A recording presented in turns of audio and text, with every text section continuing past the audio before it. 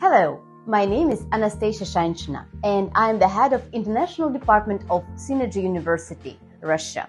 Synergy is the biggest private university in Russia with its own branches in Dubai, United Arab Emirates. And on behalf of Synergy University, I would like to welcome you on our Open Doors Day, where you can find out more information about Synergy, its branches, its programs, and possibilities of studying with us. Please come and find out more. Welcome and see you soon at Synergy University.